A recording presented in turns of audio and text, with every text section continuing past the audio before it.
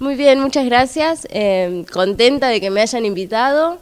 Eh, vamos a, mm, bueno, a trabajar eh, los temas más comunes y básicos de panadería y pastelería para, bueno, orientarlos un poco en si necesitan una búsqueda, una salida laboral o para trabajar desde casa.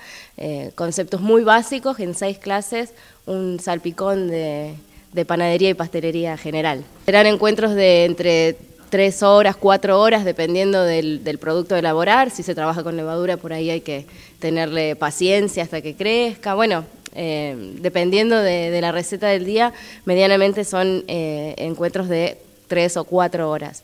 Trabajaríamos eh, cada uno con sus, con sus materiales, cocinan y se llevan a casa para degustar con la familia.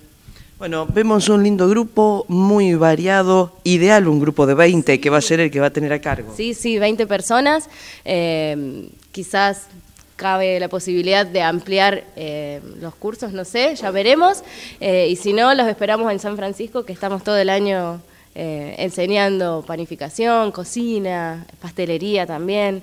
Eh, bueno, y la idea es eso, ¿no? Llevar eh, el conocimiento a, todos, y no necesariamente para trabajar, sino para cocinar a la familia, a los chicos, y, bueno, un, mimo al corazón.